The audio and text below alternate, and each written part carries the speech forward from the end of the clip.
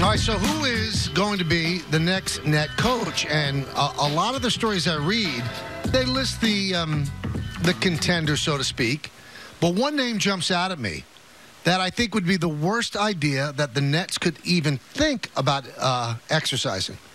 That's to bring Jason Kidd back. When has it ever worked out with Jason Kidd? He was with the Knicks. Knicks actually had a good season with him. He got the most out of Carmelo. And then he retired, suddenly got the net job. And then he wanted more money after one season. They let him go. He goes to Milwaukee because they gave him more money. And then he makes a power play and wants more power.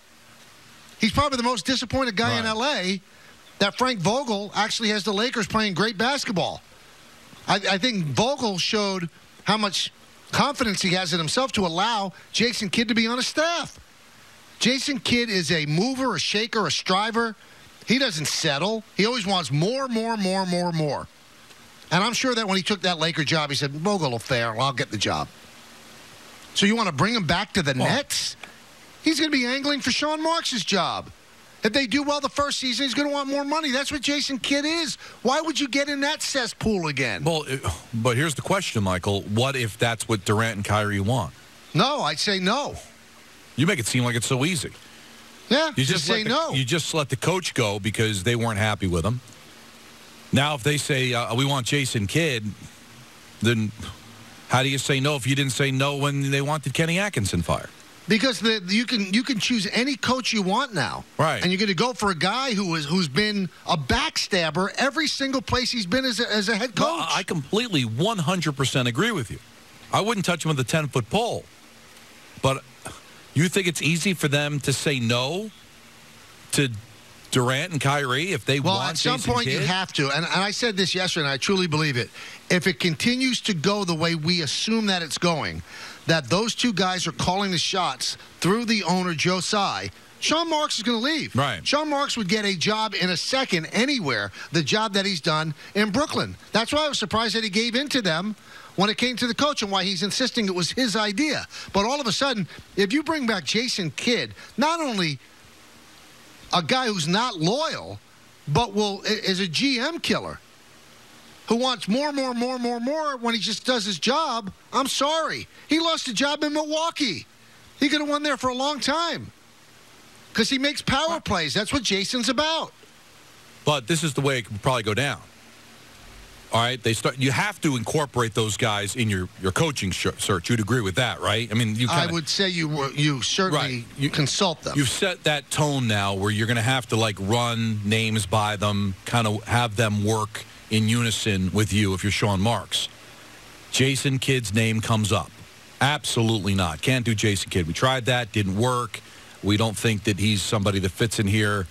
Uh, don't let the uh, door hit you with the good Lord split you. That whole deal right? And then Joseph Tsai says, well, wait a minute, this is what they want. Then you're right. Sean Marks is going to go, okay, I resign. And now he's gone. So that's the power play. How much power do you allow these players to have? You already dictated who the um, coach is by getting rid of Kenny Atkinson. You're going to make them part of the process on who replaces Atkinson's. Where do you put the foot down when you know that if you put your foot down, if you're Sean Marks, it's probably going to cost you your job? So what do you do?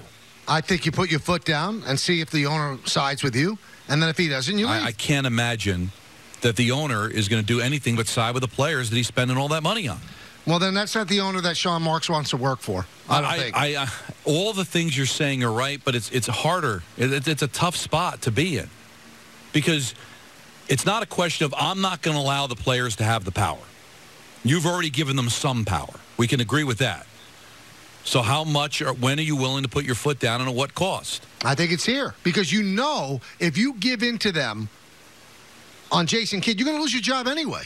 Jason Kidd's going to come for your job. Yeah, it's a, it so is. you might as well lose it with your head held high. Now, I don't know if there's any relationship. Has anybody done the homework to see if that's somebody they would actually want? I, I understand the fans bringing it up because even though it, it didn't work out with a coach, he's still one of the great players in the history of the organization. But But he left them high and dry. there's no question about that, and he leaves everybody high and dry. I mean, it just it doesn't work out with him. Like you said, it'd be a power play where any bit of success, he'd be going after Marks' job, and or he'd parlay it and trying to make more money someplace else. He would be the he would be the Parcells guy that during the parade is negotiating with another team the bowl.